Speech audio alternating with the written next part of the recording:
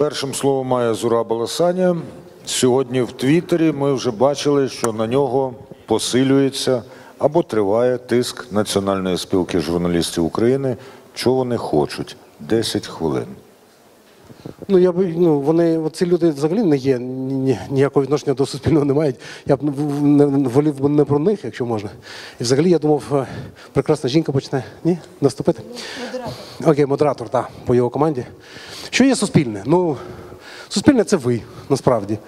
Е, Я розумію і знаю, і ми торік про це теж розмовляли, скільки всього було навколо суспільного, скільки ще буде. І основне питання чомусь, коли воно буде. Я можу відповісти на це питання, але в двох різних вимірах абсолютно. Якщо ми зараз кажемо, коли постане суспільний як юридична особа, то це має відбутися ну, от, в листопаді цього року. І про це я можу розказати окремо, як йдуть ті кроки е, бюрократичні. А якщо ми кажемо про суспільне як про явище, це абсолютно інше. Інше. Це, це навіть не телебачення, це не радіо, це не платформи, це, це абсолютно інше. Це ми з вами. Це так само, як ви питали би, а коли постане на, нарешті нормальна Україна? От це саме про те. Суспільне це саме про те. Це ми з вами. Давайте про перший крок. Перший крок, який ми почали робити трохи менше року тому. Не два роки, як всі думають, не навіть з прийняттям закону, а з постановою Кабміну. Це було в е, вересні торік. От ми почали роботу суто юридично, бюрократично.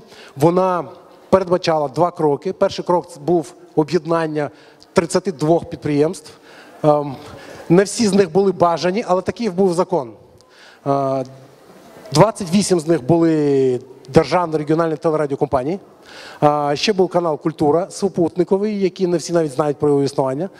Ще було Національне радіо, е, національне теле, ну, перший національний НТКУ. І от на цьому ми почали. Почали ОДТРК треба було закрити, а зробити філії з них. І ці філії приєднати всі до НТКУ. Це був перший крок. Наступним другим кроком мала би стати корпоратизація, тобто вихід на ринок і а, а, випуск акцій. І тоді, ну, тоді вже юридично мало би постати таке от НСТУ, те, що називається НСТУ. Ми тормознули, загальмували на першому кроці. На 90% ви виконали все те, що було, ну, те, що належало зробити, тобто зробили аудити всіх цих компаній, провели е, фонд держмайна провів е, всі ці аудити. І потім загальмувалися на Укртелефільмі. Це така окрема дивна контора, яка існує на лівому березі. Вона має дві студії і, ще два будинки великих таких будинка. Вони збудували в 10-му році. Наскільки я знаю, окей, хай це офіційно, не офіційно. Там людина на, на ім'я на прізвище Новинський, там вклалася частково теж в ці землі. Вони там збудували багатоповерхівки з офісні і житлові, а потім почали їх продавати. І на цьому все загальмувалося, бо вони не хочуть приєднатися до цієї реформи, бо ну зрозуміло, що там буде що там буде з цими домівками. А, ну, ніяк ми не змогли домогтися того, щоб вони віддали документи. Бо вони розуміють, якщо ми отримаємо доступ до документів, там спливуть такі речі, які, ну, про які е, має опікуватись ними там поліція, а не ми. Врешті-решт, вони не пускали нікого, нічого там, е, нікого взагалі, навіть поліцію. І тоді о, депутати прийняли таке рішення, вони просто вивели цей, цю, цю частку. е, Укртелефільм з початку закону на його там наступну статтю. Це означає, що вони приєднаються, але не до НТКУ, як зараз, а до НСТУ. Це дозволяє нам продовжити цю реформу. От ми щойно це зробили. Тиждень тому парламент ухвалив е, 235 голосів, ледве зібрали ці голоси. Але ми рухаємо далі. Далі е, залишається 10% на першу частину, на перший крок. Е, Пам'ятаєте, об'єднання всіх, закриття ОДТРК і об'єднання всіх філій. ОДТРК закрити вже 10 на цей момент, решта 16 ще ма- е, 18 ще мають бути закриті. Це така знов таки суто бюрократична річ. Нічого не зробиш. Такі закони в країні, і вони мають працювати. Після цього ми а зараз паралельно зараз пишеться. е, Положення про наглядову раду, про е, пишеться статут, про вибори правління там і так далі. Це, це паралельно йде. Коли е, об'єднання буде закінчено, постане одна компанія, це буде НТКУ велике з 32 підприємств, і тоді його м, е, буде винесено на фондовий ринок. Об'ява про те, що Якщо хтось в країні має претензії до цих компаній, будь-які там з 32, ви маєте ці нам за два місяці ці, ці претензії нам е, пред'явити. Тоді ми там сплачуємо, будемо судитися або ще щось. А, насправді величезна ж компанія і величезний майновий там права. Ну там дуже багато чого. І він заплутаний сильно. Але після цих двох місяців, якщо нічого не виникає такого, то тоді Кабмін має підписати статут. І от з того моменту офіційно вважається, що НСТО існує. Тоді приступає до своїх справ наглядова рада, яка була обрана вже, але ну і форм... не формалізована. Вона нібито вона легітимна і вона може щось робити, казати. Вони зустрічаються. Рада Європи постійно їх збирає і що і що-небудь для них робить. А це що-небудь доволі корисно для них. І це означає, що ця наглядова рада збереться. Ну, трохи про неї ще теж скажу.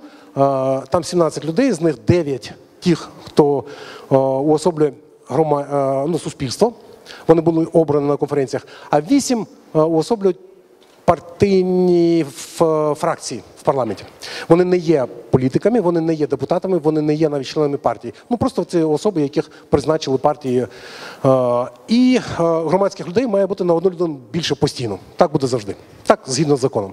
От вони приступають до своїх обов'язків, і вони тоді починають обирати правління і голову правління. Або навпаки, голову правління і за поданням його правління суспільного мовника. Е, Загальне відчуття. Ну, нібито ці два роки все ж йшло, йшло, йшло, йшло, йшло, і будувалося, будувалося дуже важко. Щось там переробляти дуже важко. Важко з е, регіональними мовниками, бо вони е, залишаються в системі, але вони ну, жодних змін вони не зазнали. Нам теж важко на першому каналі, який має бути локомотивом, нібито, а грошей немає так само, як і не було завжди, так і немає зараз. Ба менше, тому що. Колись раніше були чорні потоки. Ну, чорний кеш нал на каналі завжди був. І завдячуючи цьому налу кешу, е, ну, якісь роботи е, робилися. А зараз ми відмовились від нечесних е, заробітків взагалі, от повністю. І в нас і на то на те немає грошей. А держава каже, ви державний, то вам і половину бюджету від того, що був. А коли постанете суспільними, от тоді будемо розмовляти про закон з суспільним. То наступного року може таке статися, а може і не статися, хто знає. І, але робота завершена, ну, зроблена вже доволі велика, і от зараз я починаю відчувати, що зібралося ну, доволі, з'явилися люди, яким було би не кисло взяти і просто пересісти на це крісло, бо, бо ну, зібрана величезна компанія. Е, Зібрано, ну я не знаю, 97% е, покриття на всій території мовлення, е, 8 тисяч людей. І такий, ну нібито доволі впливовий ресурс намальовується на майбутнє. То чому б її не опанувати? От я поки що відчуваю.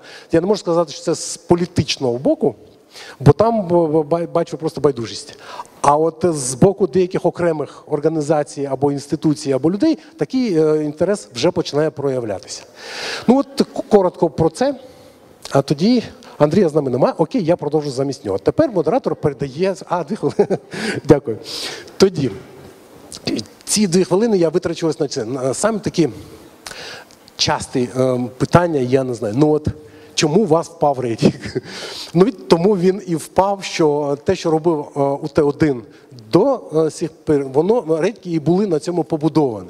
Е, Вся якість продукту, який виготовлявся УТ-1, була така, яку ви. Я ще не ви коли-небудь його бачили? Той УТ-1.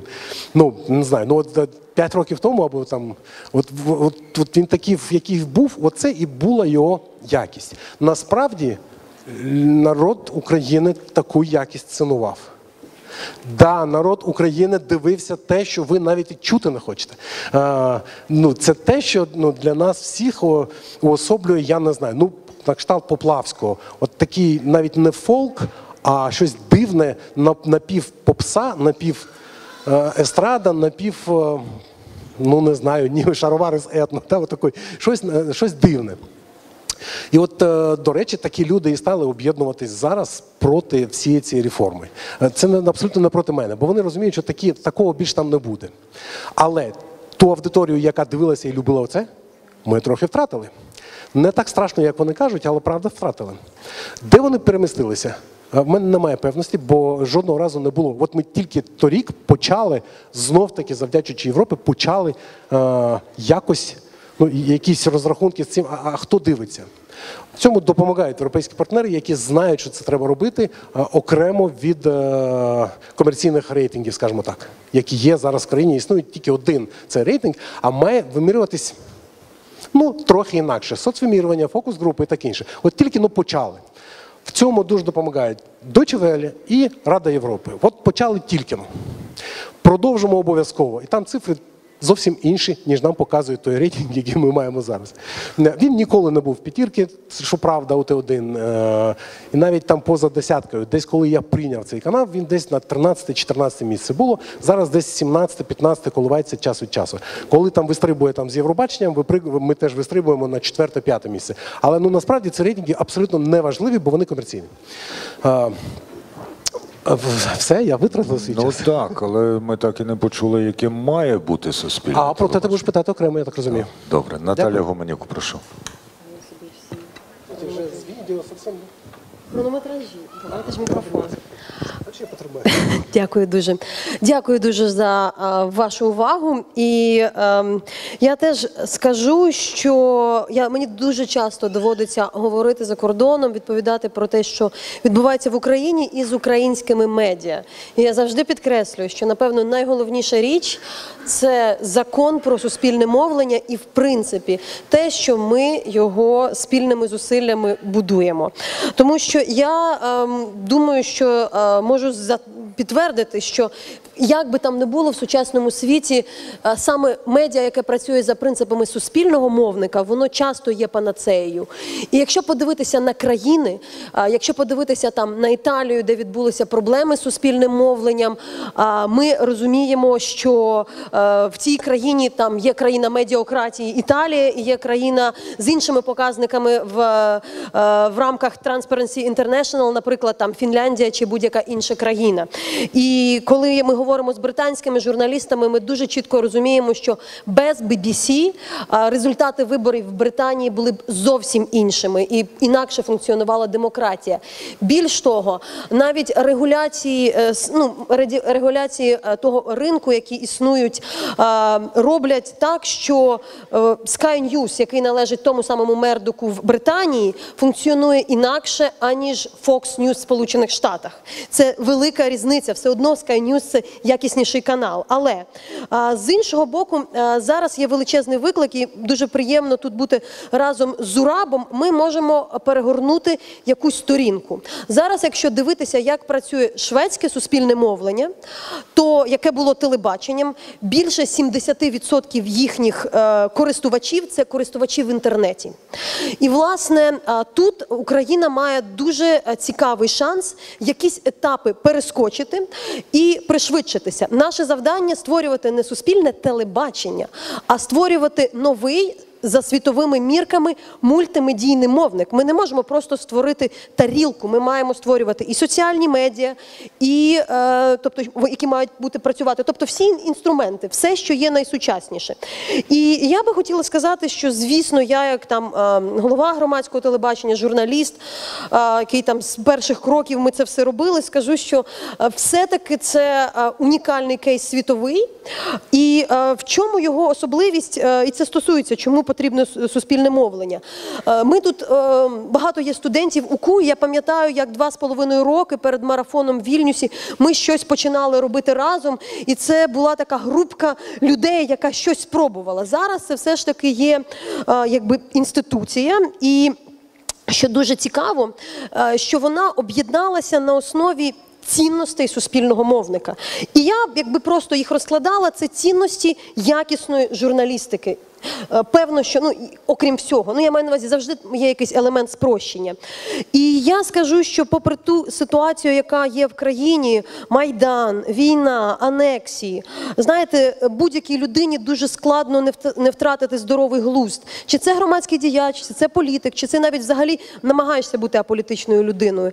Я абсолютно впевнена, що саме те, що журналісти громадського, команда громадського прийняла для себе за основу те, що принципи суспільного мовлення, а не просто якусь там якусь іншу ідею, ідею не знаю, опозиційного мовника, ідею ще якусь, вона нас врятувала тоді. І це знаєте, ідеал не завжди досяжний, але і зараз тримає е, вкупі.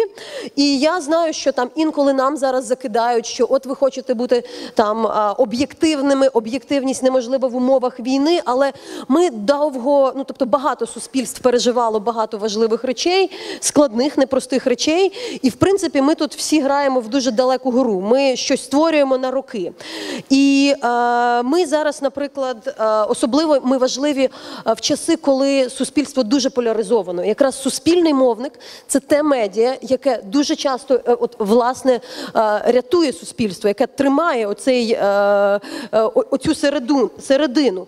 І очевидно, що зараз такі часи, коли є люди, які е, ну. Не завжди хочуть чути, е, що тобто вони хочуть, щоб їм казали те, що вони хочуть почути, але це те все, чому суперечить е, ну там самі ідеї суспільного мовника. І я ще кілька прикладів наведу, е, чому це зміна правил. Тому що ми тут, щоб змінювати правила. Коли ми створювали проект Громадський інтернешнл, це було восени 2014-го англійською і російською мовою.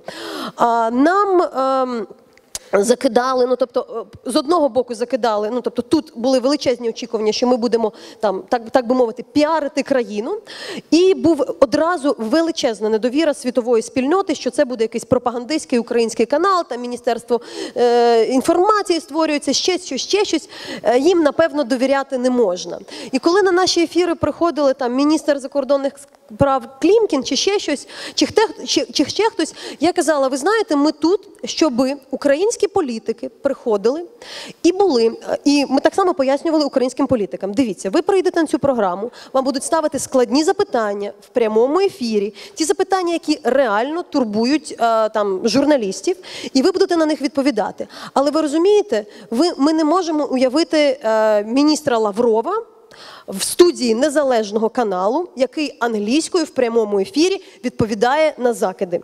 В Україні це можливо. І це ота поступова спроможність, коли, е, дай Боже, я думаю, три чи більше місяців, ну там завжди була якась така історія. Це українське медіа.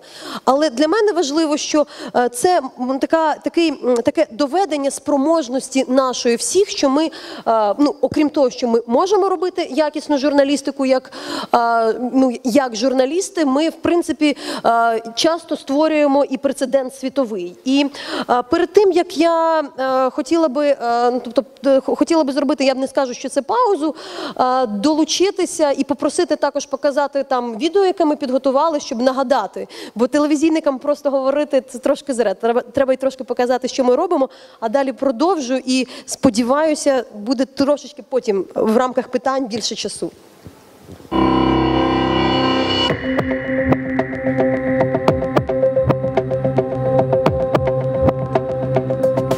Рамзан Кадыров никогда не принимал участие лично в боевых действиях. Сознание на Украине менее милитаризировано, несмотря на идущую войну, чем в России. Если брать уроки из Грузии, я бы взяла другие уроки. Ми закликаємо щодо можливого хоча б тимчасового ембарго на енергоносії з Росії, зокрема на нафту. Это был большой эфир семи средств массовой информации.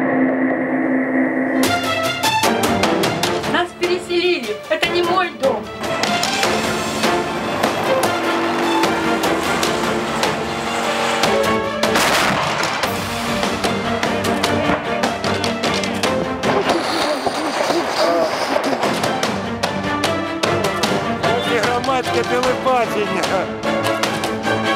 во дворе все такое покоцанное. Європа має певні розбіжності, але вони не повинні ставати на заваді нашій єдності та чіткості нашої позиції. Путин, который решил стать царем пожизненно, Вы готовы просить о помиловании? У вас 14 лет.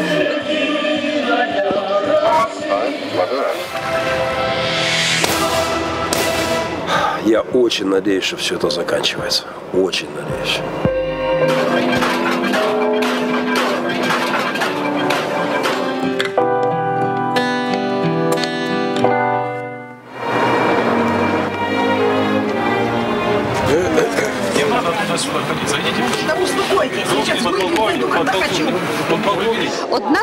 Дільниць для голосування в Амстердамі розташована на центральному залізничному вокзалі просто на пероні. Це театральна площа міста Гюмрі, другого за величиною міста Вірменії.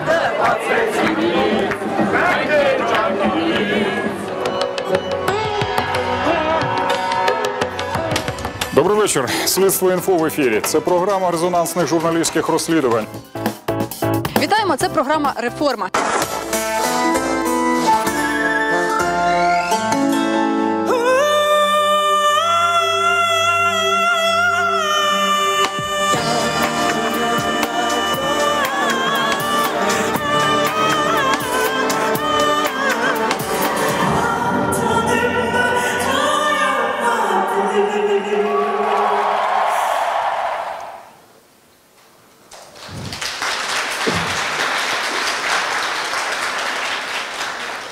Ми стаємо все більш професійними, тому в мене як це хронометраж показує. Хвилина мені лишилася до цієї частини. Але я е, поки там далі будуть і інші відповіді, скажу, що е, так, е, це просто скажу, що це можливо. Сьогоднішнє сучасне медіа і сучасне суспільне мовлення частково це телебачення контенту. Це не просто індустрія, і очевидно, дуже багато чого можна робити у співпраці. Я одразу тут скажу, що ну тобто окреме питання величезне. Це питання, звісно, бюджету. А, і ми розуміємо, що телебачення робити без бюджету надзвичайно складно. Але поза тим, все, що ми робимо, і можливо робити дешевше, але є якась ця межа, тому що все, що нам потрібно також дуже добре навчитися робити, це вміти запаковувати. Так і але також ми прекрасно розуміємо, що дуже складно, дуже добре в нас там величезні, прекрасні показники всіх проєктів, які стосуються Джамали. Там понад мільйон переглядів, якщо дивитися загалом, Твіттер, Фейсбук, все що завгодно. Але очевидно, дуже складно зробити таку саму програму і вірусний ролик про реформу генпрокуратури. Реально складно, але е, ми це, це теж частина, коли ти маєш одне підтягувати за рахунок іншого.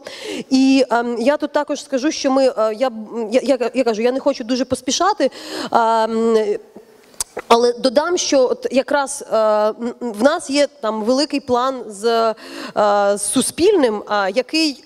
Абсолютно робиться в рамках українського законодавства, бо ми з Зурабом, я думаю, Зураб особливо за останні роки зрозуміли, наскільки важливо е, принципи і правила зберігати, так щоб в нас, наприклад, так само були і стратегічні сесії, і ми разом розуміли, де є, наприклад, роль незалежного мовника, який створився е, з, з низів, так і роль держав, ну тобто суспільного мовника, який трансформується, де є сильніші ми і як ми можемо посилити одне одного.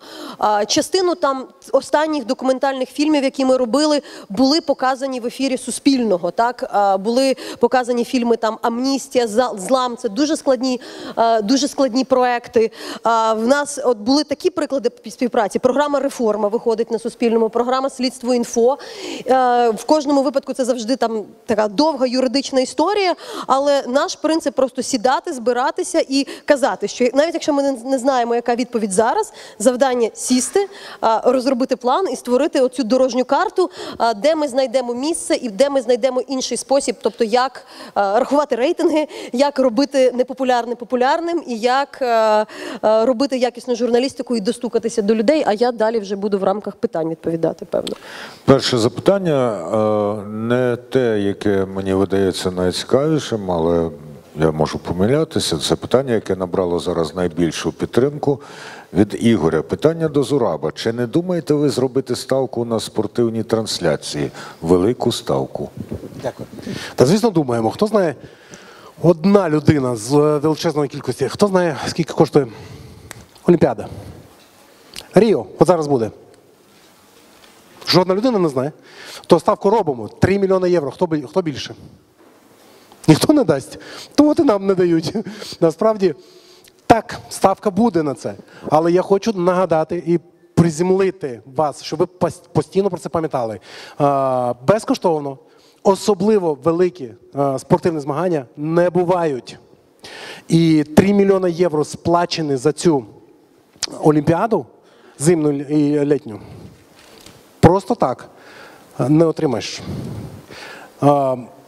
Що кажемо про спорт в Україні? Тут є футбол, бокс, біатлон. От в такому порядку. В інших країнах інакше. Але де наш футбол, ви знаєте? Навіть Українська вища ліга. Кому вона належить і що з нею відбувається? Ми її не отримуємо. Ніхто її не отримає.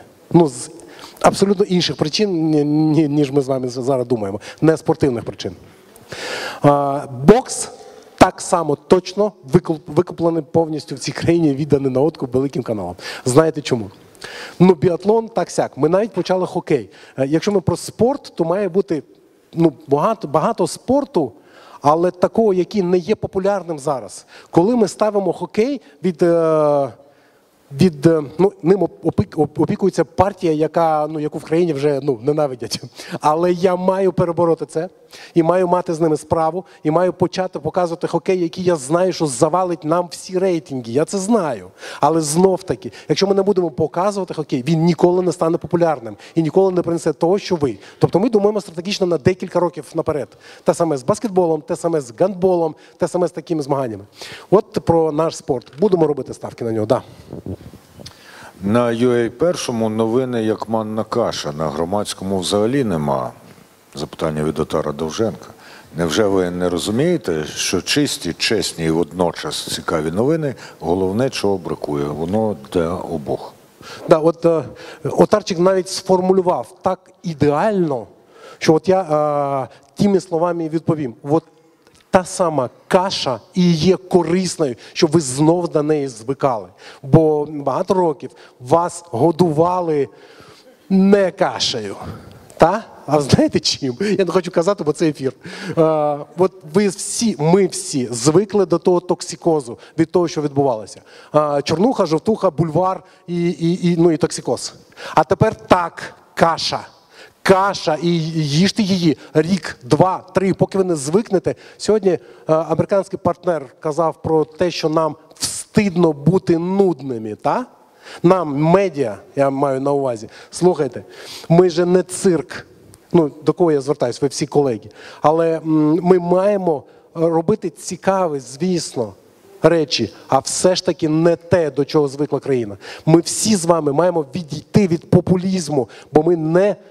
Не менш за політиків це робимо. Нашими новинами, ну точно знаючи, що ми поставимо на перше місце. Ну ми ж знаємо це. Тому що редактор спитає, ей, а де наші рейтинги? Та? І вам заборонять ну, сказати дещо, що може мати хоч віддалене відношення до реклами або до комерції, бо це є комерційний відділ у кожного з вас, який диктує вам, що робити. От е, починаю відповідати на те, що таке суспільне. Суспільне це те, що не має відношення ані до комерції, ані до владних, е, ну до влади, так скажемо. Sorry, мене буде нести. Да. Я е, додам, знаєте, я пам'ятаю, як BBC хотілося позмагатися з Sky News, е, в них є правило, так е, головне перевірені новини, а вже потім, е, тобто там не найшвидший, але коли є два джерела. І як тільки воно намагається е, змагатися з кимось, воно програє в результаті. Наприклад, є такий приклад е, дуже хорошого е, свого часу е, сербського телеканалу Б92, який фактично там свого часу е, був інноваторським. Е, це було тоді, коли змінювали Мілошевича. І в результаті, коли вони повернулися до мирного часу, вони вирішили, що вони зроблять е, там шоу Великий брат, щоб зібрати рейтинги. Вони його зробили. Вони були популярними рівно півроку. Після цього прийшли інші комерційні мовники, і е, фактично там були інші комерційні продукти, е, шоу талантів, все що завгодно. І в результаті, тобто, він це став такий середній, нецікавий, звичайний канал, який програв іншим комерційним мовникам. І е, тут можемо сказати, що е, є. Часто я думаю, що досі нерозуміння, що, е, що таке мультимедіа. Тому що е, в даному випадку, наприклад, е, мене дуже часто запитують про якісь там і рейтинги, і показники. Їх справді я не можу сказати однією фразою. Зараз ми, наприклад, там громадське є другим у Твіттері, у українському Фейсбуці, другим після ТСН перед українською правдою. А десь вже геть внизу, насправді серед інформаційних медіа є і українська служба. Е, В нас там близько півмільйона. е, Пів, півмільйона фоловерів, тоді там, як вже, вже, вже далі, після п'ятого місця, там близько 200 сотні тисяч. Так само там, наприклад, в Твіттері є е, дуже чітке розуміння, коли ми є там третіми після. Першими є ТСН, Українська Правда, потім є громадське, потім один плюс один, далі РБК, і фактично там обозріватель, і фактично немає інших медіа.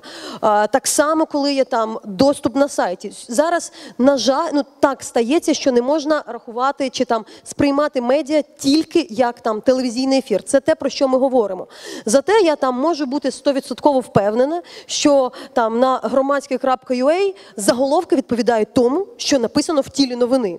І е, що там це скучно. Але коли я знала, і, і вчора, коли була історія Савченко, коли ми в 10.14 отримали це повідомлення, а в 10.18, чи там в нас вже було вже була перша зачепка, я знала, що наші журналісти мали коментарі адвокатів Савченко, адвокатів е, Єрофєєва Олександрова.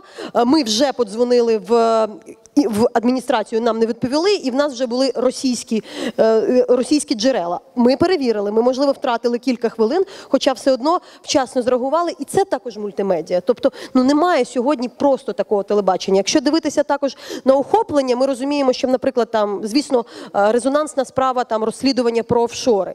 Але це і є, тобто є там різний доступ. Є просто перегляди в Ютубі, є те, що показали в Фейсбуці, є те, що там якісь були цитування, і ну тобто зараз трошки інакше це рахується, але це теж справді наша болісна історія, тому що все одно в програмі моєї улюбленої програми реформа все одно буде менше переглядів аніж е, в чогось іншого.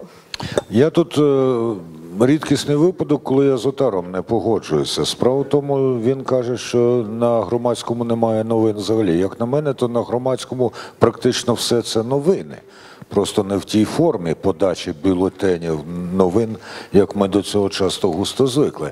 І в цьому є один із варіантів відповіді і перемоги в змаганні. Не змагатися лоб у лоб, схожим зі схожим, а так зване асиметричне змагання пропонувати інший матеріал, на який приходить інший, а може і той самий глядач.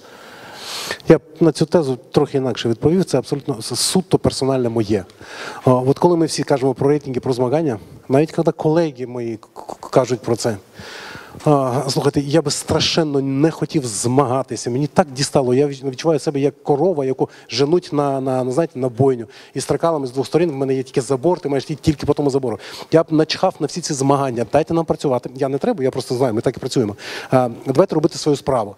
Змагання змушують нас втрачати якісь сенси і змісти всього цього. Ці ну, безум якась. Е, Насправді суспільне це ну абсолютно інше. Я дуже прошу вас всіх. Перший наглядний, такий дуже наглядний примір того, що насправді я не можу пояснити словами. Ви можете побачити завтра на презентації в на ну, 14.30 буде на, на от ЮА перший презентує початок проєкту, з якого ви зроз... от в як це називається? К... К... На, на площі ринок є така комуна. Ну, може, ви знаєте, так? Є дещо, що виходить за рамки не просто телебачення радіомовлення, а напряму стосується суспільства. Завтра ви подивитесь, ви зрозумієте, що в цьому проєкті, в цій- в цьому проєкті про- е, медіа як такі є тільки от такою маленькою вішенкою на торті. Я розумію, що колеги зараз можуть образитись, але знов таки суспільство це не тільки медіа, а медіа це ну не тільки телевізор і, і, і телебачення і радіомовлення. Приходьте, будь ласка. Е, До речі, завтра відбудеться також презентація громадського. Та в нас е, запрошуємо така неформальна е, в першій годині в жовтій залі. Все, що ви хотіли е, спитати, бо я все, що ви боялися, але хотіли спитати громадського. Там буду я, Настя Станко, Дмитро Гна, пані Бабінець, Майкл Щур. Кілька запитань, які стосуються фінансування, але почнемо е, з іншого. Ну, але воно підводить до тих. Олексій пише: те, що якість контенту громадського росте, це чудово. Але перегляди, очевидна кількість, не можна зрівняти з часами майдану, а витрати ростуть. Як ви плануєте нарощувати аудиторію? Ну і від цього перекидаю для обох з вас запитання про фінансування. Там є, наприклад, про власників громадського, так, про наскільки українські глядачі готові платити, і так далі. І так далі. Прошу. Так, е, насправді ми е, реально переймаємося. Ми зробили там дуже серйозне, нам допомогли. Е, От це, це називається там. Ми якось виживаємо теж за рахунок допомоги. В нас були от зараз зробили дослідження британські консультанти, які досі працювали з BBC і з Guardian, щоб теж зрозуміти, що так, от, от що, що робити з цією реформою, як її, так би мовити, продати. І очевидно, що просто треба більше часу на промоцію емоцію. На жаль, ми для себе дізналися буквально, що немає таких прецедентів, щоб без, ну, умовно кажучи, без якісної рекламної кампанії розрекламувати продукт. Ну так не відбуває. Кажуть, ви знаєте, ну ви щось таке хочете зробити, так воно не зовсім працює. А, насправді ми. Е, Подали, е, ну, тобто подали, як ви розумієте, отримали зараз ліцензію супутникову, що теж дуже цікаво, тому що, е, що дуже сильно демонструє, як ми працюємо, і в принципі принциповість. Досі громадські організації, хоча це законно можливо, не отримували ліцензії Національної ради з телебачення радіомовлення. Нам багато давали порад, що створіть там якусь телерадіокомпанію. Цього раніше не було. Це дуже складно. В нас є зараз е, 22 члени громадської організації. Фактично, вони, ну умовно кажучи, виступають власниками. Так, така прозора структура громадської організації. Юристи дивилися і казали, це ж вам треба давати фінансову документацію на всіх родичів цих 22 людей. Такого не було. Ми не хочемо з цим мати справу. Зураба ловили, всіх ловили, щоб дати там на, на дітей, батьків і решту. Ми сказали, знаєте, це займає час. Так, ми в цей час, можливо, десь там просядемо по е, ще чомусь, тому що це ну, наші фізичні сили і час. Але ми зберемо ці документи, ми дуже довго цим займалися. І в результаті, я сподіваюся, там матимемо таку можливість вже найближчим часом бути в супутнику і також в питанні кабельних операторів. І е, щодо бюджету, також е, додам, що так, ми сьогодні е, дотаційна кампанія по великому рахунку. Хоча я скажу так, що є приклади навіть таких медіа, як там ProPublica в Сполучених Штатах, навіть вони вже зрозуміли там от такі ком- комерційні, е, в комерційній комерціалізованій країні зрозуміли, що насправді розслідування дешево не зробиш, і є там меценати, які допомагають розслідувальникам їх робити. Фінансування громадського зараз це компанія Омідіар, яка є з Силіконової долини, її засновник, засновник eBay. Е, Дуже цікаво з ними працювати, бо вони сприймають це як інвестицію. Ми теж е, беремо величезну відповідальність за те, що ми там маємо набрати цю аудиторію. Е, Це Європейська комісія, це. Сіда шведська, ми сподіваємося, це е, німецький уряд, канадський уряд для розслідувань. Так, але от коли мене також так челендж західні журналісти, чи ваша аудиторія не думає, що вами керують західні держави, я кажу, ви знаєте, а зараз така ситуація, що довіри все таки більше, ніж якби нас якісь українські олігархи фінансували. Тут я точно цього не скажу, але це ставить нас а, в цікаві умови, які для нас дуже корисні. Я, наприклад, надзвичайно вдячна там тій самій. ем, Шведській агенції з розвитку СІДА за те, що їхня підтримка це не просто гроші, це зміна інституції. Це от уявіть там 47 політик, антикорупційна, тендерна, е, наглядова рада, ще якісь речі, які реально корисні нам. Вони не вони не згори е, ну, якби на нас е, там насідають. Ми маємо сісти самі придумати і виконувати ці правила. І дуже багато часу, реально, напевно, останній рік на громадському було витрачено на те, щоб врешті вирішити цей процес, там вирішити наші фінансові складнощі, щоб все було нарешті чисто і прозоро, бо інакше ми не рухаємося. І я думаю, от е, ці інституційна побудова, це про те, що ми ще досі не згадали. Так, от вона е, трошки недооцінена. Ну про неї не говорять, її не побачиш по телевізору, але це реально те, що з'їло дуже багато часу, але те, що і в країні відбувається. Поки ти цю основу не побудуєш, ну тобто треба побудувати спочатку корабель, щоб на ньому пливсти, і це те, чим ми е, займалися фактично останній, останній рік. Про фінансування. Ну, е, про фінансування ви не повірите, ми досі державна компанія.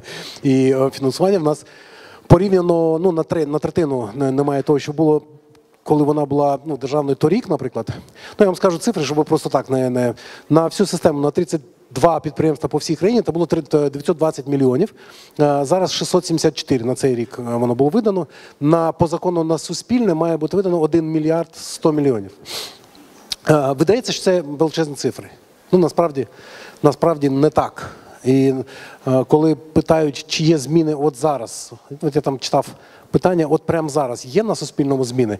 Е, Хочу ще раз сказати: з самого початку року держава видала бюджет тільки на дві речі. Перша річ на 8 тисяч людей це зарплатня, зарплатний проєкт. Друга річ це трансляція. Те, що ми маємо платити, ми, державна компанія, маємо платити іншій державній компанії РРТ за трансляцію. І навіть за трансляцію вони видали десь 70%. Я не знаю, які тайни я викриваю, але жодних інших грошей досі в компанії не було, не, нема і не знаю, чи вони будуть. Бо от зараз в серпні припинити про гроші, та? Ні, просто ні, питав. Ні, просто давай, давай. Да. А, як має змінитися ця, ця ситуація? Розкрий таємницю штатного розпису. Про, про, про, Ти згадав про 8 тисяч співробітників. Да, і? І? А скільки треба? Скільки треба? Я думаю, що це ну, ну покаже насправді ситуація, але я по перших прикидках думаю, що має залишитися приблизно половина.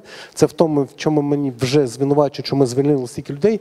Е, нікого ми не звільняли взагалі. За ці два роки звільнялися тільки е, ну, такі текучі речі, які от приходять люди, входять, не звільняли. Чому не звільняли? А тому, що, а тому, що от тому. Ми не маємо поки що ґрунтовної бази для переатестації людей. Ми не маємо ґрунтовної бази для навчання людей. Це абсолютно точно було помічено. Це по телебаченню не покажеш. А це базові інституції речі, які треба будувати. А тому ця половина це дуже важливо. Вони розхитають, ну, розхопають, я точно знаю на цитати це. Е, всій країні кажу, бо 8 тисяч людей дуже уважно це чують. Це, це станеться за 3-4 роки. Не за місяць, не завтра, не за рік. Це треба робити поступово, навчати а, і вивільняти людей, якщо вони не можуть або не хочуть перенавчатися, або не хочуть змінювати професію. Врешті-решт, компанія має стати невеликою, як зараз, але з таким самим покриттям і з вдвічі, втричі більш роботою кожного, кожної людини, кожного е, співробітника, і вдвічі, втричі більшою зарплатнею. Це просто так з воздуху не береться. І це займе час. Я дуже хочу додати трошки про цифри, просто щоб ми зорієнтувалися. От мені цікаво, бо тут дуже багато колег-професіоналів, але якщо ти з телевізійним бюджетами не стикався, просто не уявляєш там. В нас є зараз близько 130 людей, які постійно співпрацюють з громадським. кажуть, боже мій, це так багато. Кажу, ви розумієте, телевізійний ньюзрум, звичайний телевізійний ньюзрум, це зазвичай 300 людей. Ну, тобто 250-300, якщо говорити про технічний склад і всі. Що ми працюємо там, видаємо цілодобовий продукт, як би там не було. Якщо е, взяти там ті самі бюджети, ну умовно кажучи, в нас є там гарна звичка, ми її дуже любимо, коли нас е, ну, нам порі... колеги нам часто кажуть, а от дощ. А, з яким, який, до речі, бере е, наші фільми, показував останній фільм Амністія і сказав: ви знаєте, в нас немає ресурсу зробити таке документальне кіно, як робите ви. Е, Віддамо вам належне. Ми можемо робити прямий ефір. Там їхня кількість людей це близько вони з 500 скоротилися до 300. І ем, коли ми там з Мішою з Ігорем от, от зараз говорили, ми кажемо, ну там студія каже, ну був гарний стартовий капітал. Наша студія коштувала 8 мільйонів. Каже, у нас 8 мільйонів ніколи не було. Нам стільці перші подарували. А, і ну тобто, це, це є якийсь старт. І це теж треба дуже розуміти, коли в контексті порівнювати. Ми ж розуміємо, що бюджет комерційного телеканалу це десятки мільйонів доларів. Наш там близько мільйона. Бюджет телеканалу. Умовно бюджетного телеканалу Белсат, який також е, фінансується е, донорами в Польщі, і також частково з польського і з європейського бюджету 7 мільйонів доларів на рік, 7 мільйонів євро. Тобто ми можемо зрозуміти, що це неспівмірні цифри, неспівмірні цифри. І я не закликаю до якогось там казати, що ось як нам складно, ми не скаржимося. Ми там, в принципі, доволі малобюджетно робимо те, що можливо, завдяки тому, що є е, ну, нові технології, які дозволяють, але є та межа. Коли це просто технічно, коли, коли, це технічно неможливо. Я от перед собою бачу Хайко фон Депшса, красава, який, який е, ну, один з керівників ЗДФ, якщо ви знаєте, це е, ну, суспільний мовник Германії, один з двох Німеччини. Е, хто-небудь приблизно знає, скільки бюджет суспільного мовника в Німеччині? ЗДФ. 2 трильйони євро. І тиша така. Мені теж подобається тиша, так. Перед тим як е, передати слово для запитань до залу, одна історія, одне запитання. Я нещодавно зустрів естонця, якого нарешті я зміг розпитати. А чи правда, що суспільне мовлення в Естонії фінансується за рахунок комерційних мовників?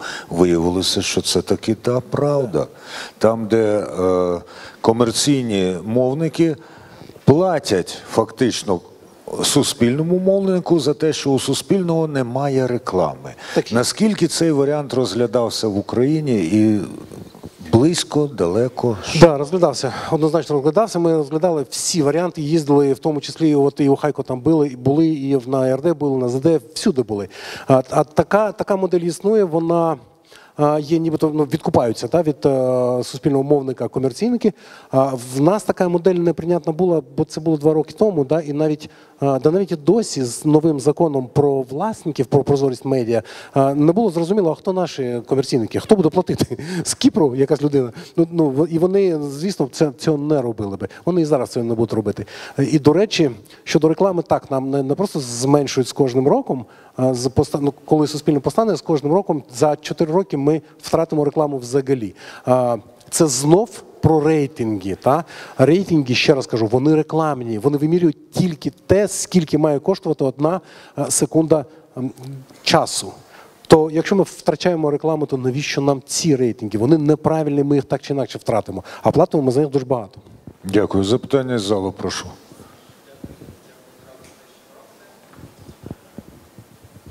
А ви можете просто голосно. Ні, нічого. Раз. Окей. Дякую Зараба за те, що ви робите, і сподіваюся, що в підсумку в нас буде суспільне мовлення і буде перемога. У мене є два питання. Я зараз не буду конкретизувати, що це за ОДТРК, які там люди що роблять, але така ситуація. Є ОДТРК, яка фінансується, як я розумію, з державного бюджету. Але є в місті депутат, який практично монополізував цю ОДТРК, і у всіх випусках новинах, у всіх передачах є product placement його фонду і різних е, там того, що він робить. Тобто вони навіть не ховаються. Хтось це регулює і хтось за цим дивиться. І друге питання: є два UA перший на супутнику, але чверть UA перший на Т2, на цифровому мовленні. Якось буде це змінюватись? Дякую. Дякую. Можу? Андрій. Так, так, так. По першому питанню абсолютно праві. І більшість, більшість компаній, а тепер вони називаються філії НТКУ, вони такі, як ви сказали, точно. А, Просто, просто ну, хтось більше нахабний і отак і робить. А, Хтось менше вже починає розуміти, що щось змінюється і так робити не треба. І воно о, час від часу. Той, хто так робить досі, він знає, йому втрачати нічого. Він, він я маю на, на увазі керівники, весь керівний склад, вони там не залишаться.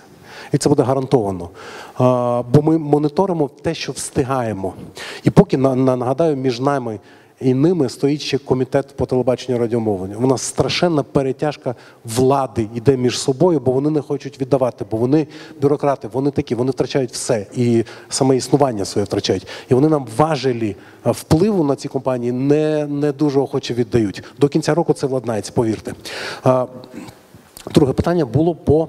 ем, ЮА-1, Ага, ЮА-2. та, дякую. Це е, те, що я сказав на трансляцію. Чесно кажу, я ну, не маю права таке сказати, тому що пишуть. Але жодна з компаній не мовить стільки, скільки вона має мовити за ліцензією. І це стосується як ЮА першого, так само і Т2, який ну, цифра, так звана цифра. Вона ма- мала би мовити синхронізоване мовлення і там, і там. Але в країні дика ситуація з РРТ, це концерн, який ну державний концерн, який в аналозі мовить, і з Зіонбудом, який є цифровий концерн, теж монополіст. Не зрозуміло чий. Ну нібито всі знають, чий він. Він належить родині. Кого в нашій країні називають родиною, ви всі знаєте, та? але владнати з ним ніяк не можна, бо якщо ти його порушиш, якщо ти відбереш, то буде ну якось недемократично. З іншого боку, е, так, така, так, такий величезний ресурс в, в, в руках тих, хто навіть країну покинув. І от зараз держава намагається щось зробити з цим концерном. Але в нас справа така дурна, що ми маємо, мусимо платити за два сигнали. В країні є десь 3 мільйони е, глядачів, так кажуть офіційні цифри, які дивляться, ну мають е, цифровий приймач. Ну нібито це 6-8 мільйонів глядачів, ну з родинами разом. Чи це так, чи не так, цифра має тільки Зеонбуд. Коли це зміниться, не знаю, знов перенесли на 17-й рік вже ну, цифровізацію і відключення аналогу. То ми потерпаємо від того, що ми двічі платимо за одне і те ж. Коли це зміниться, думаю, наступного року. Дякую. Є четверо людей, які зараз поставлять запитання, і далі будемо дивитися на час. Трохи ближче. Е, Вихід із обласного телеканалу Черкаси, вже нині фрілансер. Е, Запита... Суспільне мовлення дійсно класно, але в мене запитання про е, скорочення штату. Це дійсно потрібно. Актуальне зараз питання. Е, У нас говорили про те, що на каналі що будуть звільняти більше технічну службу, журналістів не будуть чіпати. Питання в іншому: якщо журналістів не чіпати, є люди, які працювали 15-20 років. Чи ви вірите, чи ви думаєте, що вони зможуть працювати, відповідати нинішнім потребам, якщо вони звикли е, знімати пісні? пляски? запитання, гадаю. Дуже дякую. В мене є ну, дивні приклади, повірте, люди, які за 70 років їх просто не відпускають.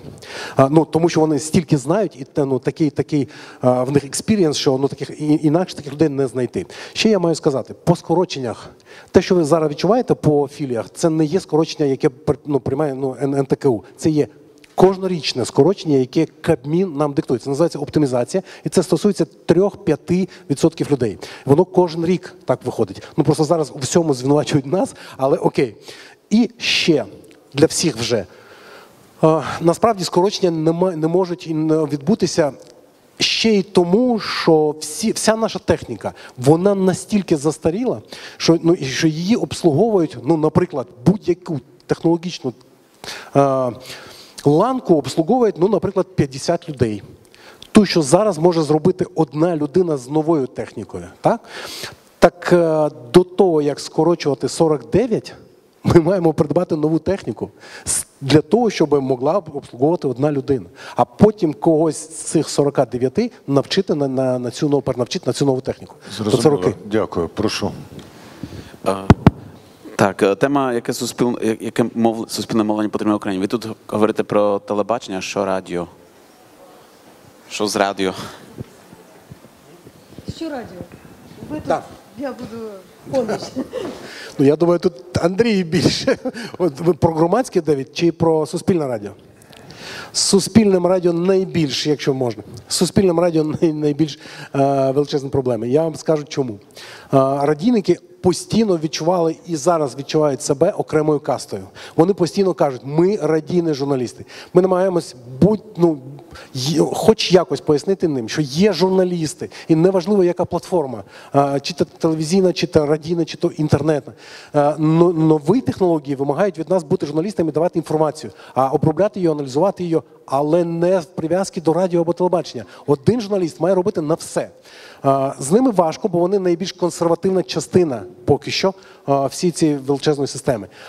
Але потроху, коли люди відчують те, що їм теж надають можливість перенавчатися, вони теж на це підуть. Але найбільше а, атаки на нас зараз якраз за допомогою радійників зараз відбуваються. Е, Я не думаю, що в них вийде, але ну скоріше ми перебудуємо радіо. І до речі, от ці дві людини, які тут сидять, вони е, уособлюють в країні громадське як радіо, так і телебачення. Е, Ну, нібито телебачення, так. І ми всі разом йдемо до одного і того ж. Ми всі разом думаємо однаково. Ми всі разом хочемо об'єднатися, бо вони народилися як невеличкі компанії, які були страшенно мобільні, на відміну від нас, які були класичні, солідні, поважні, але не, не розворотні такі компанії. Ви думаєте, з цього щось вийде? Я думаю, що вийде. Я більш того додам, Давиде, спеціально для тебе, що ми не тому, що ти запитав, а тому що ми до цього домовилися, маючи можливість далі говорити, от що ми будемо робити разом. Прошу запитання. Доброго дня, пане Зорабе. В мене питання до вас стосовно спортивних трансляцій. Минулого року е, Суспільне відмовилося транслювати е, чемпіонат світу з футболу серед молоді через те, що основним спонсором цього чемпіонату є Газпром російський. Якби Газпром раптово став головним спонсором Олімпіади, чи відмовилися б ви її транслювати? І які будуть вказівки спортивним коментаторам щодо того, як реагувати на перемоги російської збірної? Адже традиційно вони беруть дуже багато медалей. І невеличкий ще додаток до цього питання. Чемпіонат світу ви відмовилися транслювати, але натомість ви транслювали європейські ігри, так звані, з Баку, Азербайджану, де дуже багато так званих в'язнів совісті і де сидить дуже багато журналістів. І ну як це корелюється взагалі? Я, ну, як завжди, це до нас з вами, колеги, не до нас. А, давай я скажу так: я і компанія НТК не відмовлялася від трансляції того чемпіонату. Ну, бачите, як колеги можуть перетворити інформацію на абсолютно протилежне що-небудь. Такого не було. Це так само, ну. Як вам сказати, у нас не було ані грошей тоді, ані планів навіть того робити. От і все. Будь-який коментар з Фейсбуку підхоплюється будь-який, навіть жартівний, підхоплюється і цього перетворюється на абсолютно інші речі. От в даному випадку це. Те саме Баку було заплановано декілька років тому. Це телебачення, це те саме солідне класичне телебачення, коли ти маєш все це планувати набагато заздалегідь, набагато. Те саме з будь-якими європейськими змаганнями. Ну так. Так виходить. І політика має до цього не, ну, не таке відношення, як вам думається. Не справа в Росії. Найактуальніше питання з, наприклад, з командою Росії на Євробачення 17. Що ви будете робити, чи ви їх пустите на євро? Ну, взагалі не до нас.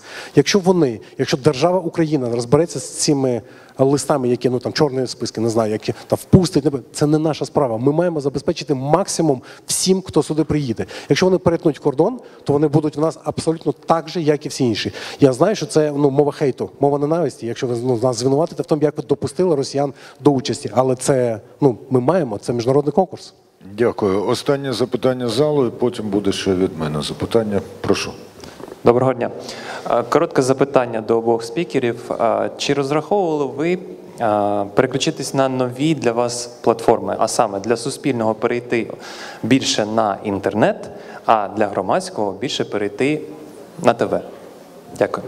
Я думаю, що я можливо не дуже чітко відповіла на запитання. Ми виграли зараз, отримали ліцензію на супутникове мовлення. Це був складний бюрократичний процес, що було не просто наміром, а великою роботою багатьох людей. А наступна робота це технічне підключення, це робота з кабельними операторами. А далі вже всі решта правил, тобто очевидно. І я завжди, коли ми писали свою стратегію на три роки, там ми, ми, її пишемо на три, на п'ять. Я кажу, ми не будемо писати, що там в Фейсбуці стільки-то, в Твіттері стільки-то, чи там ще десь. Ми просто розуміємо, що якщо з'являється щось нове. Ми маємо бути попереду і тими, хто перший приносить цю технологію. І сподіваюся, тут можливо ми щось підкажемо е, суспільному, суспільне щось інше підкаже нам. І от в цьому є наша сильна сторона, а радіо ще щось своє додасть. Останнім часом пролунали твердження, що е, громадське телебачення почали контролювати Порошенко, Ахметов і Льовочкін. Спростуйте або підтвердіть цю інформацію. А також мене цікавить, звідки от на вас останнім часом найпотужніша атака, яка можливо позначилася на вашій роботі? А, ну, е, я думаю, що розумієте, офшорне розслідування Дмитра Ганапа про Порошенка, воно краще про все демонструє. І найкраще, от я завжди кажу, відповідати треба контентом. Зайдіть на наші розслідування і подивіться розслідування і про Ахметова, і про решту. Ну, поза тим, тут е, є е, ми живемо в час, коли можна сказати будь-що, будь-хто може сказати будь-що. Ми сьогодні читали вже про мафіозі з Харкова і багато подібних закидів, е, яких завгодно. Тому тут е, я вже назвала того, хто нас фінансує, якими є наші донори. Якраз тут з громадського все, все прозоріше. Я коротко е, згадаю про е, там внутрішній конфлікт, який все-таки був більшою е, з, колишнім співробітником нашим Романом Скрипіним, який був часто конфліктом і ціннісним. Зараз ця справа на розгляді в на судовому розгляді. Кримінальне провадження відкрито за фактом шахрайства і зловживання довірою щодо привласнення, здається, там чверті мільйона. Євро є така історія. Вона вирішувалася за допомогою нашої наглядової ради, за допомогою ведення різних інших процедур. Е, Я розумію, що є бажання заговорити цю справу, і замість того, ну ми розуміємо, що якщо правоохоронні органи розслідують крадіжку, то краще дуже багато говорити, аби що, аби відволікти увагу. Ну це така стратегічна, е, стратегічна річ. Але для мене це і для нашого колективу, напевно, це менша річ ніж те, чого. Про що ми дуже сьогодні турбуємося. Е, І я всіх своїх колег попереджаю, кажу, будьте готові. Зараз такий час. Е, Ми зараз не будемо тільки улюбленцями. Ми часто говоримо те, що не хочуть чути. Е, Ми привозимо історії, які не хочуть бачити. Ми не підіграємо парадигмі зрада перемога. Ми не працюємо тільки на лайки. Там що би не сказали, завжди ми нікому не додамо. Ну незручні такі люди, незрозуміло, як контролюються. І звісно, ем, остання дуже важлива річ. Я це чесно скажу, як людина була акредитована Хізбалою, акредитована ким завгодно, працюючи на Близькому Сході.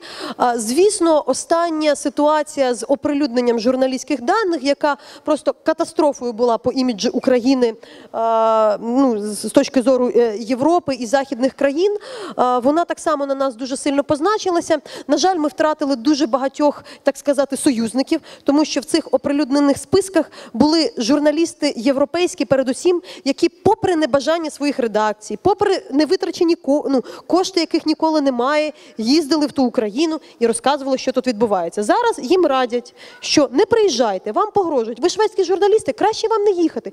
Іспанські журналісти, німецькі журналісти, не треба вам в Україну їхати. Сюди вони більше не приїдуть. Залишиться тут Спутник і Russia Today, щоб ми для себе зрозуміли. Але що мені важливо сказати, очевидно, зараз є цікава історія, цікава, ну як сказати, дуже прикра історія. І це насправді дуже серйозно. Є прямі погрози нашим журналістам, журналістам, які навіть не були акредитовані. Там завтра приходьте, послухайте, можете Насті Станко поставити запитання. Найніжніші з цих закидів звучать так: якщо терорист тебе вб'є, то він перестане бути терористом. І в мене є велике побоювання, що це не просто питання особистісне, це питання заговорювання і дискредитації певних тем, дискредитації гуманітарної теми, дискредитації. Ну, реально незручних мовників, тому що я це так само бачила на Близькому Сході. Мені дуже багато людей скаржилося, що реально там активістів і ре- реальних діячів просто ну знищують оцим цькуванням і, і, і, і псуванням їхнього такого іміджу, щоб їм більше не довіряли. І я наостанок додам, що новину про миротворець я дізналася, коли була в Криму. І коли я говорила в Бахчисараї з татарами, до яких ніхто не приїжджав, тому що там почали ходити по е, домах тих. Неща кількох журналістів, які працюють, е, ну тобто тишком-нишком, до них прийшли з перевірками. Вони теж мають якби залягти на дно. І ми спілкувалися з людьми там, з дружинами затриманих, яких е, звинувачують в чомусь там тероризмі, бо чому. З ними ніхто з журналістів не говорив. Їм нема кому ну тобто про це розказати.